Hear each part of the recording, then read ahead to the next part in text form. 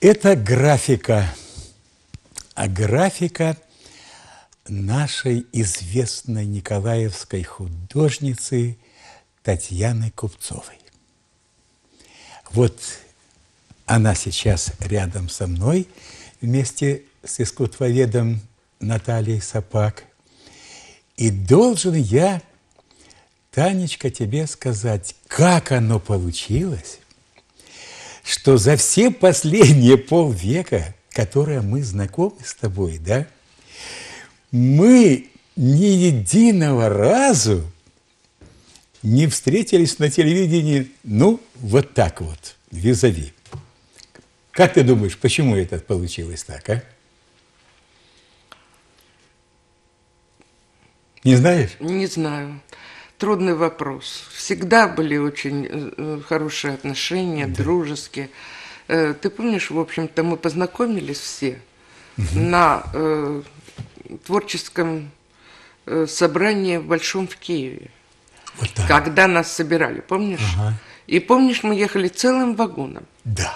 Вот этим вагоном мы всем и дружили. Да. Потом. Да, да, да. Мы все познакомились, мы все узнали друг друга, мы стали интересоваться творчеством друг друга, стали интересоваться всем, что окружало нас. Угу. Ну, наверное, слишком много нас было. Вот дошло время и до нас с тобой. Но вот у меня вот, знаешь, все время э, у меня присутствовало, знаешь, какое ощущение, почему я не пришел к тебе в мастерскую, в мастерскую вместе с оператором. Потому что вот как-то ты успевала за свою творческую, творческую за свою жизнь, да, успевала быстрее познавать новое, интересное, что я не успевал, может быть, за тобой таким образом. У меня еще какие-то стереотипы давние были, и я чувствовал это, и поэтому боялся подходить к тебе с, с вопросами. А вот почему сейчас это случилось, я не знаю. Но в конце концов я уже не вытерпел, потому что, ну сколько же же можно, Таня, давай вместе сядем и поговорим. И только, не только о твоем творчестве, но и о творчестве всех людей, которые окружают нас. Вот поэтому и Наташу Сапак я пригласил сюда, потому что, ну, хотелось бы немножечко вот определить какие-то несколько проблем и о них поговорить. Ну вот первое, почему я начал с графики с твоей. Я знаю, что графикой занимался и Ваня Булавицкой, и Володя Бахтов, и Бережной Николай приехал, занимался графикой. И никто почему-то потом не остался апологетом этого вида изобразительного искусства – а вот у тебя даже и выставка была по этому поводу один раз э, в этом самом, там на Советской, да, где ты выставила свою графику. Почему сейчас не занимаются графикой? Почему все отказались? Ну, во-первых, это первое и очень важно, это очень трудоемкий процесс. Угу. Это для того, чтобы, вот ты показывал э, эти листы для того, чтобы они дошли до состояния, до доску довести до состояния печати, на каждую ушло месяца по два, по два с половиной и больше. Время наше теперь бежит вперед. Оно заставляет работать быстрее и быстрее. Мы когда-то, знаешь, было такое партийное требование к нам. На каждых обсуждениях, выставок когда-то они устраивались. Почему нет картины? Однажды я не выдержала и ответила на этот вопрос. Да, да, да. Вот вы знаете, когда мы учим историю, э, историю искусств, мы учим историческую обстановку. И угу. мы говорим, вот потому-то эта работа э, родилась в это время. Так давайте посмотрим теперь нашу историческую обстановку, почему в нем нет картины. Потому что мы бежим, мы бежим, мы все время бежим. Нам нужно быстрее. Понимаете? А э, где 20 лет взять? как Но ну, Иванову для того, чтобы написать э, Христа, явление. Где взять 20 лет? Угу. Понимаете, тут очень сложный вопрос. И я не хочу сказать, что он... Просто, мне кажется, нужно смотреть на то, что рождается сейчас. И понимать, то, в чем мы живем. Вот все-таки, если говорить о графике, то ну, пять видов есть графики. И ты в пяти видах и работала в свое время. Вот просто расскажи для публики, что это такое и как это делается. Ну, во-первых, есть э, уникальная графика. То есть это тогда, когда ты делаешь работу, она одна. То есть это сюда входила, кстати, гра, э, в акварель, в графическую mm-hmm. манеру.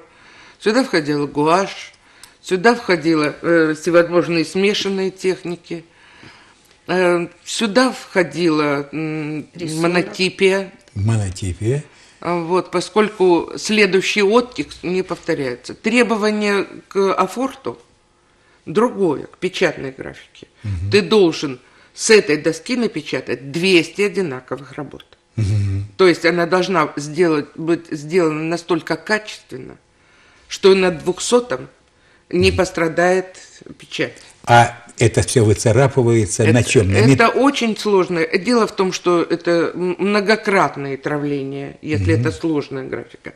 А форт э, э, штрихом травится, даже он травится не за раз. Кислота, Это кислота, надо, да? это многократные травления, это постоянная работа с доской, то есть снова перекрывание лаком, очистка от лака и так далее. А на камне что это? На камне это литография. литография. Литос. Э, камень сохраняет карандашную манеру. Угу. Вот э, очень сложно в литографии сделать другую манеру.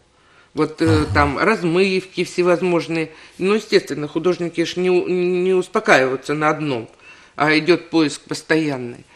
Так что вот таким образом вся эта вот я занималась гравюрой на линолеуме, у меня есть э, серия листов, у меня есть э, гравюра на картоне, у меня есть гравюра на металле, афорт, э, значит, акватинта, там вот сложная техника. Ну, у меня есть же глубокое нужен. отравление да. в, в афорте. Просто, просто глубокое отравление, когда там, ну, другая манера несколько получается. Мне было очень интересно Понимаешь, вот, наверное, тут мы с тобой и почему не встречались. Потому что мне всегда был интересен процесс вот, творчества, понимаешь? Результат меня интересовал немножко меньше.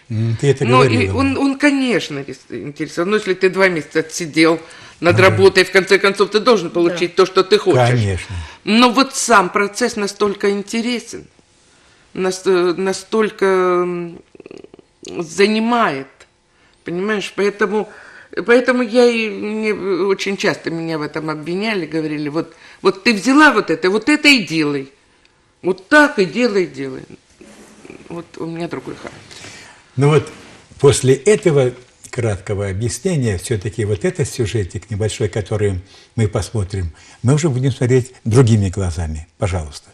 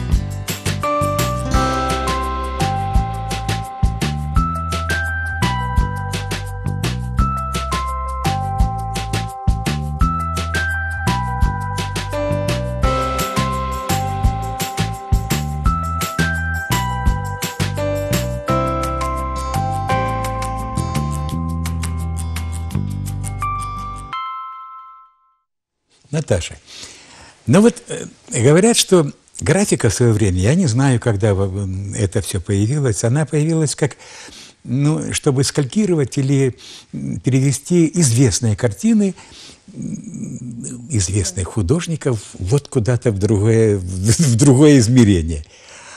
А потом она как-то стала как самостоятельное искусство. Почему? Э, ну, действительно, я вот хочу продолжить Танину мысль по поводу того, что вот графика, она ведь появилась, э, именно печатные виды графики, да. гравюра. Она появилась в Средневековье. Вспомним Дюрера, который работал в гравюре на меди и в гравюре на дереве, вот ксилография. Потом Рембрандт во форте и нашего украинского Шевченко – который традицию Рембранта продолжил и тоже работал во форте. Но в основном, если гравюра вот позднего средневековья, даже 17 века, она выполняла такую, я бы сказала, подчиненную функцию иллюстрирования, тиражирования известных произведений скульптуры, живописи, архитектуры, то в дальнейшем она действительно вычленилась в самостоятельный вид искусства и стали самостоятельные работы, независимо от э, иллюстрирования э, произведений, созданных кем-то. Ну, а теперь главный вопрос, который да. э, во время, в начале о котором сказал. Ну, все занимались у нас, наши николаевские художники и графика, или почти все, ну, многие. Почему они прекратили это делать? Ну, у нас большой отряд был художников, графиков. Пожалуй, когда наше Николаевское отделение Союза художников образовалось, это одна из самых мощных была секций, да, Таня? Да. И многочисленных, и очень сильные были художники. Ну, вот э, то, что мы получили. Время, время. Тот трудоемкий процесс, который требует вот печатная графика, угу. сейчас не устраивает. Убыстрилось время. Это раз. А второе, новые технологии появились. Да. Зачем работать вот так трудоемко, как вот объясняла нам Татьяна Михайловна, да. когда есть э, у нас такой мощный инструмент, как компьютер. Компьютер, да. И когда можно, да, это делать значительно быстрее. Угу. Ну, теперь знаете, давайте о чем поговорим. Вот как две общественных формации, которые были в нашей жизни, будем так говорить, СССР, социализм и капитализм, в котором мы сейчас живем, как он повлиял на творчество наших художников вот наших Николаевских, чтобы были примеры, чтобы можно было понять, как изменилась жизнь экономическая страны и как она отразилась на, на искусстве, это раз. Как, экономи, как экономика, как достаток, достаток изменился на, вашем, на вашей жизни и отсюда, вероятно, на вашем творчестве. Пожалуйста. Ну, это слишком вопрос э, может быть, даже и не по существу, понимаешь? Потому что ну, вот эти сравнения, они, наверное, не очень удачные.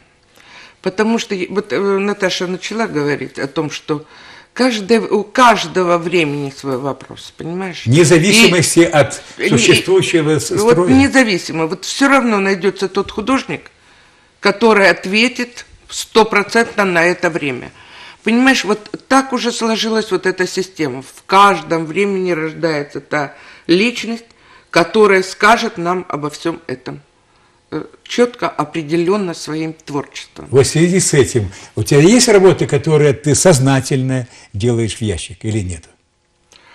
А, а, а смысл? Сейчас нет, нет этого ящика.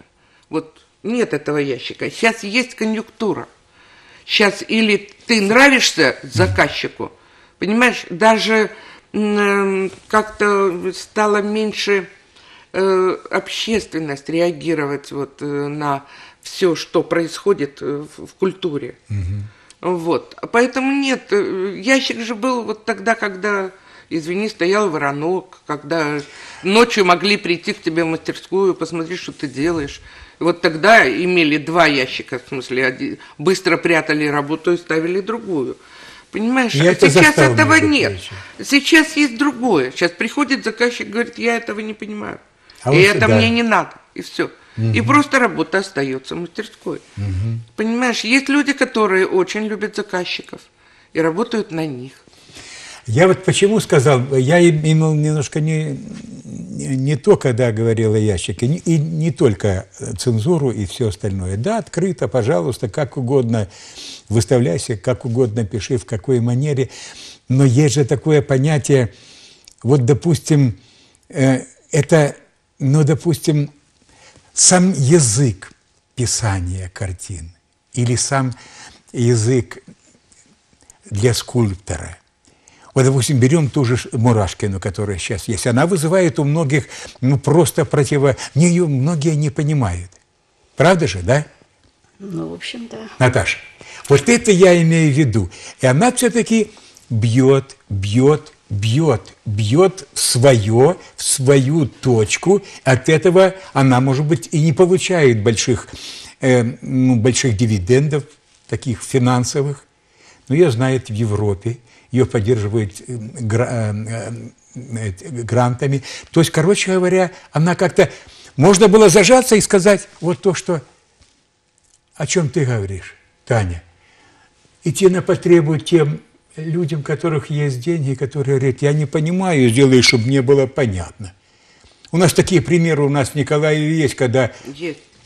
Мы просто не будем э, об этом говорить, Не правда же? этом Но говорить. есть примеры, Это- когда... Это, право каждого человека Да. выбирать свой путь. Да. Вот как, э, вот об этом. Об этом. Ну, Да. я вот тоже хочу немножко вернуться, потому что в Советском Союзе, хотя Союз художников, понятно, был общественной организацией, но у каждого члена Союза была обеспеченная зарплата. И прежде всего это был госзаказ. И, соответственно, вспоминайте те выставки. Это были тематические работы, это были портреты передовиков производства, Ну да. это была, извините, я так хочу сказать, может быть, не совсем красивое слово, та обязаловка, которая кормила. Правильно? Это вы деликатные, Наташа. Да. То есть я не, хочу обидеть никого из художников, потому что и тематические картины для заводов, фабрик писали талантливые художники и писали талантливо. И точно так же писали портреты. Мы наших хороших портретистов николаевских знаем. И они действительно хорошие портреты писали. И представителей колхозов, и рабочего класса. Сейчас поменялось. И вот то, о чем говорит Таня. Сейчас каждый художник или идет на поводу у заказчика, понятно, потому что заказчик диктует, платит деньги, или, извините, работает, как он понимает, чувствует, хочет, но это не всегда материально, увы, подкрепляется, к сожалению, к большому сожалению. Но вот что для меня вот очень вот важно, и я отмечаю, вот за эти годы уже независимости, вы знаете, что вот эта конъюнктура ушла что все-таки на выставках наших, а надо отметить, что у нас, например, выставки в Николаеве очень много, часто бывают. Смотрите, сколько у нас выставочных залов. Да. И в учебных заведениях, и Да. в музеях, и союз художников, и постоянно же выставки. Значит, художники работают. Но вот на этих выставках вот больше искренности, больше именно творчества такого, да, потому что уже э, художник не заангажирован, понятно, и он работает больше вот как-то, так сказать, от души по своим впечатлениям, по своему э, умению и творческому, и, так сказать, интеллектуальному. Э, но, опять-таки, и эта сторона имеет тоже оборотную сторону. Потому что, вот обратите внимание, чего сейчас больше? Вот мы говорили о графике, Да. и, увы, графики немного. Почему? Да потому что в интерьере современном, хотя, например, мне очень нравится графика станковая в интерьере, но больше для потребителя нашего живопись, потому что это цвет. Или если графика, то цветная, да, да? или цветная, потому что это цвет, это больше эмоций, естественно, в интерьере, понятно это. И точно так же на выставках. Жанры какие, обратите внимание сейчас. Пейзаж, натюрморт. Я права, Татьяна? Ну да. Потому что вот а та гравюра, которая вот, собственно, вот о которой говорит Татьяна, и та высочайшая культура гравюры, которая, ну, еще вплоть до второй половины, до 70-х, 80-х годов 20-го столетия была, и мы знаем, и мы видели, мы были свидетелями этого, к сожалению, она ушла.